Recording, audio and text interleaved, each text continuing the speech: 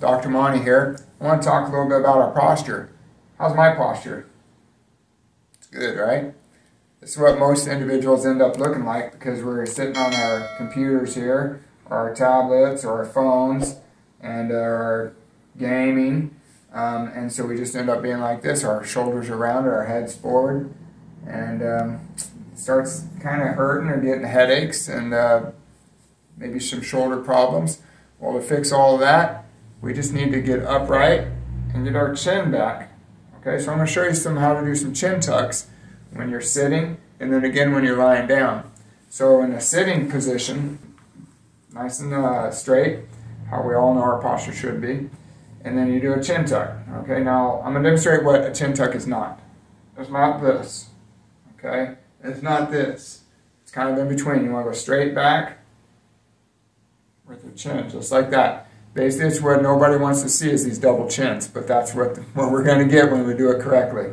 So let's go through. We're going to do 10 of these for 10 seconds. So we'll start off with one, hold it for 10 seconds.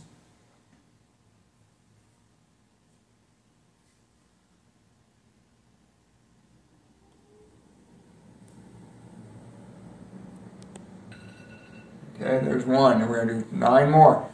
Now I just use my fingers just to help direct. You don't have to do that. You just go straight back, like that, and hold it.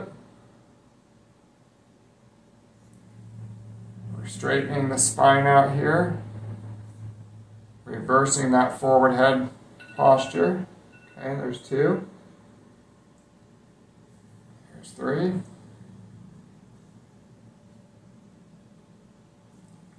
Lengthening these muscles up at the base of the skull that have become short from that forward head posture. Okay. Number five. I try to keep my shoulder blades back, my shoulders back. You may have a tendency to want to raise them up when you initially go back. Try to avoid that. There's six. Keep my gaze forward so it keeps my chin straight back. If I look up, I want to, my chin's going to go where my eyes go. Okay, got three more.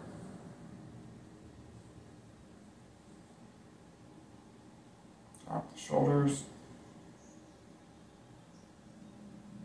Keep the chin back. Work on that double chin there. Lovely. Again, eight.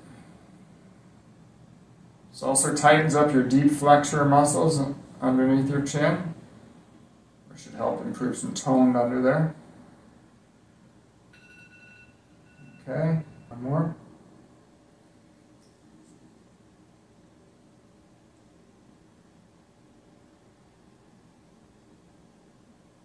Holding it for 10 seconds. There we go. Okay, we got 10 for 10.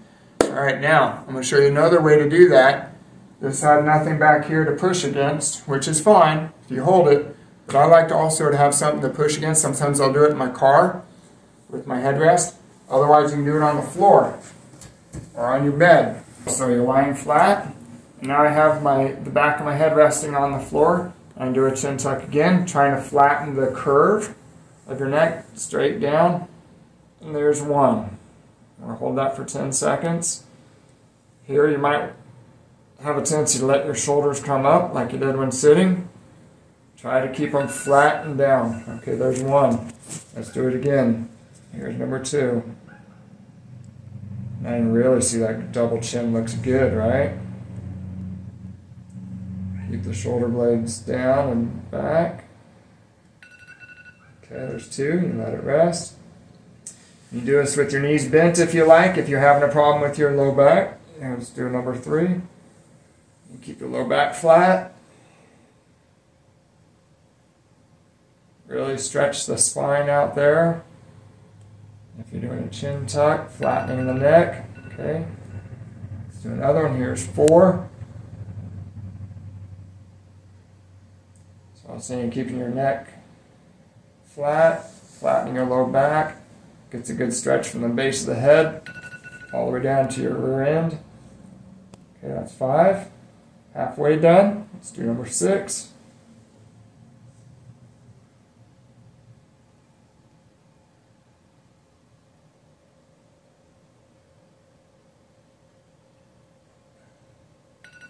Okay.